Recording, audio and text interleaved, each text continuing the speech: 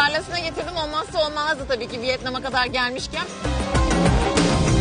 Dur yavaş benim beni keseceksin yavaş. Aa yapamayacağım. Ay! Kurtar!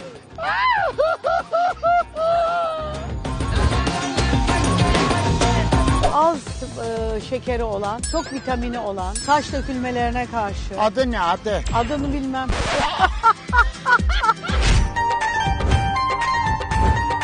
Beğendiniz mi Vietnam'ı? Vay anam vay.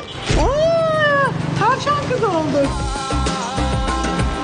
Evet. Oh, oh. Ben böyle çok mutluyum. Taşır.